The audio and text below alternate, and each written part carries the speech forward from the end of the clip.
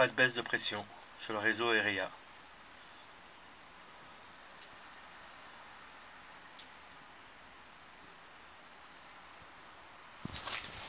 Et la vanne, elle est bien ouverte. Ouverte. Là, fermée. Euh, là, je suis en train de la fermer. De toute façon, elle est ouverte, c'est clair.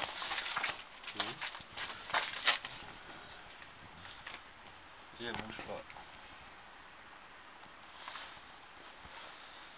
Par contre, dès qu'on ouvre la vanne à l'intérieur du bâtiment, ça fuit.